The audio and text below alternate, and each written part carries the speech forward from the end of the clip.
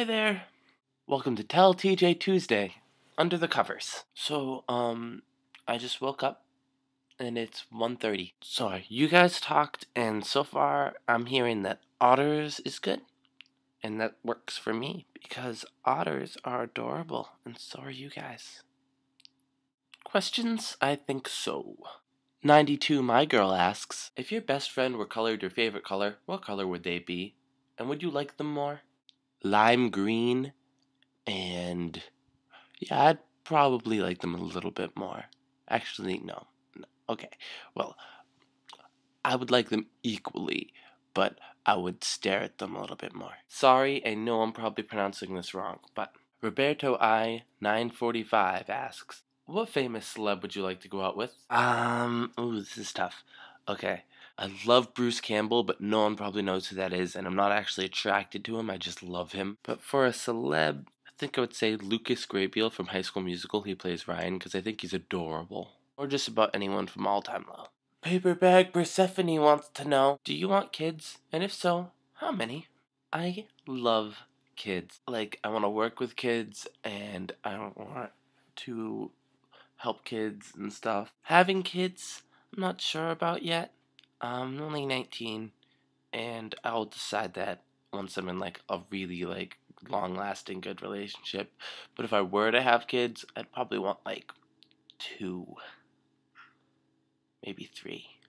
Black Wolf 88889 wants to know How come you wear a ring on your wedding finger?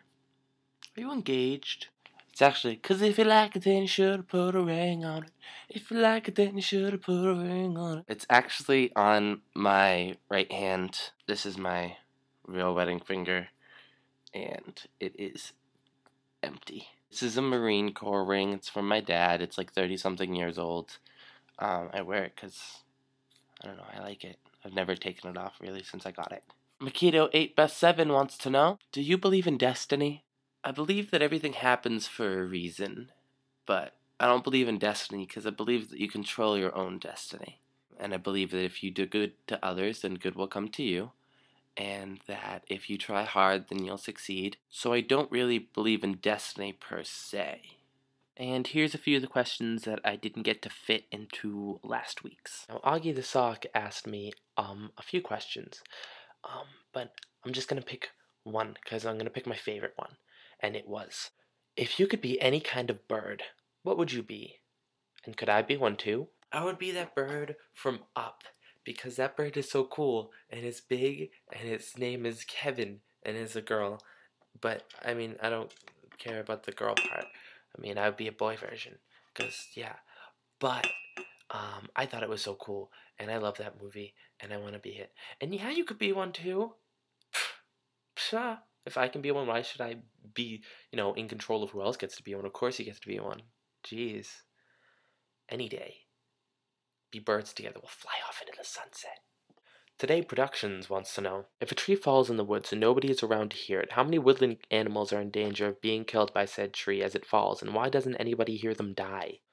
Alright, um, if a tree falls in the woods and no one's there to hear it, so there's no human there to hear it, but I'm guessing the woodland animals that are in danger of dying hear it. And then there are woodland creatures. How many woodland animals are in danger of being killed by said tree?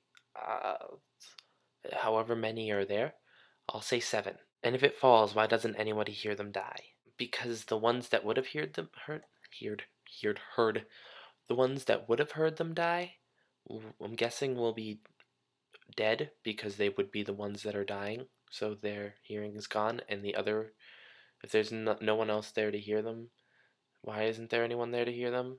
I don't know, because there aren't very many woods left. You'd think that people would be there to hear them. Chopping them all down. Bye bye, rainforest. I guess the rainforest isn't woods. I don't know. Alright, guys. I'm sorry that you saw me at my worst. This is me right when I wake up. Um, send me more questions, do more video responses, um, comment, message, whatever you want. Love you guys.